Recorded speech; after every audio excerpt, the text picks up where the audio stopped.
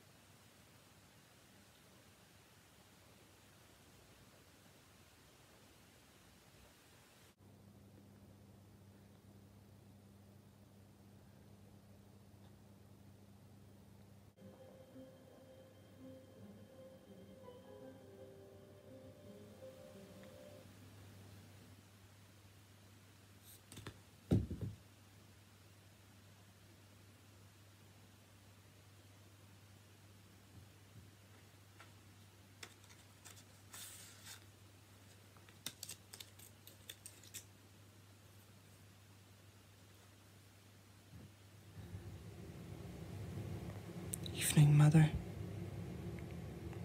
I'm sorry that I haven't talked to you in a while. I've lost the motivation to travel, the confidence to talk, my last grain of hope. Got the results of the test back, and I'm sorry to say, but I'm. but I'm fading away. I might not be around for the holidays. So I'm here to tell you that I love you. At least I'll die a proud creature. To know that I've been cared for by the sweetest human on the Third Rock.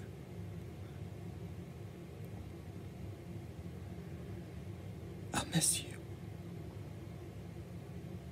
My one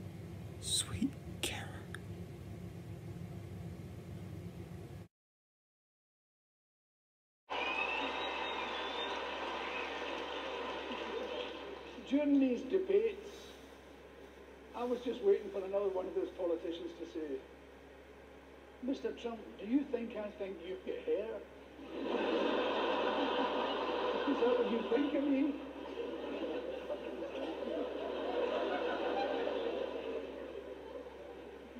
I don't know why guys do that. And, and, and, and the wigs, those fucking wigs you can see for a mile and a half.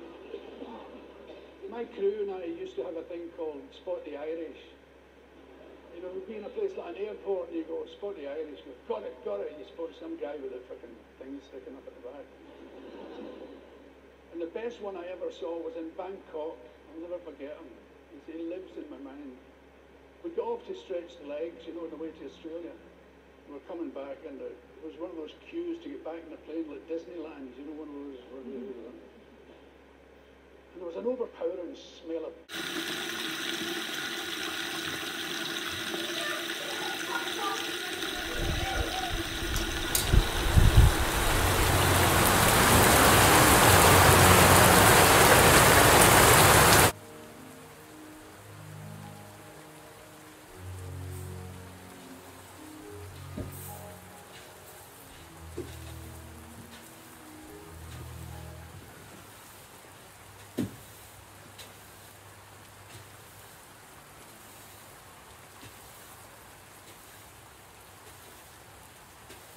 Might be so kind to ask what are you doing here.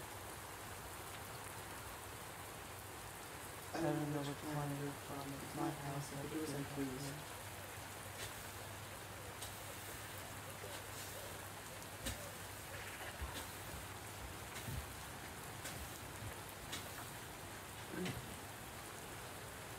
There's someone sitting here.